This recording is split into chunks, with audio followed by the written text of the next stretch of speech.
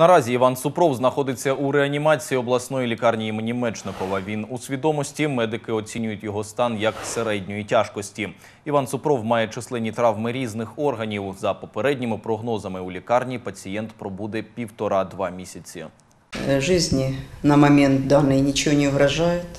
Все, что необходимо, он получает. Пока что проводится консервативная терапия. Возможно, через несколько дней будет проведена операция.